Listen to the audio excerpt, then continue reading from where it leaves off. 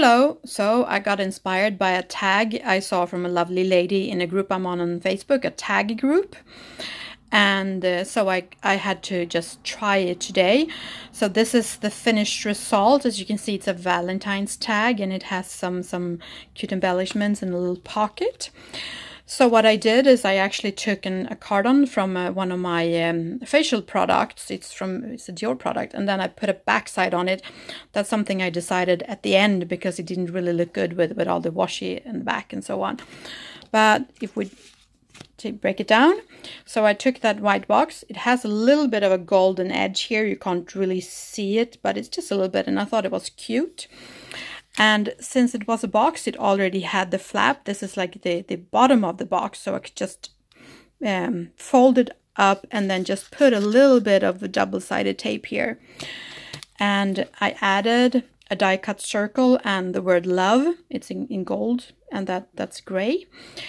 And then I added, that's actually an earring that I bought at a flea market yesterday.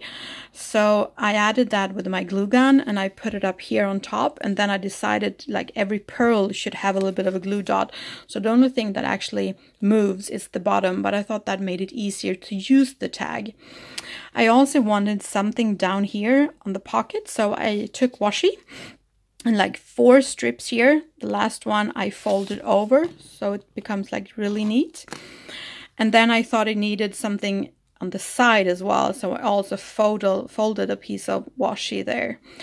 And then I got a little piece of card uh, from a swap. So this was really cute, but that backside had a text from like a casino or something. So I decided to add a piece of paper there so I can write something on it, put it in there. And I also got this. It says XOXO in black and white with the silver or I think it's gold text on it. So I put that in there too. And an die cut heart from a paper that was already already embossed. So that was my Valentine's tag. I hope you get inspired and liked it. Bye!